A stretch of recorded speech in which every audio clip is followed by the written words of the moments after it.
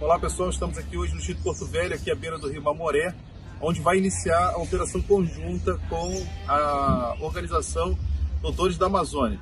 O objetivo é levar atendimento médico de média e alta complexidade para o interior dessa terra indígena. Então serão 10 dias de trabalho em comum, CESAI, junto com doutores da saúde e governo do estado, visando a esse atendimento.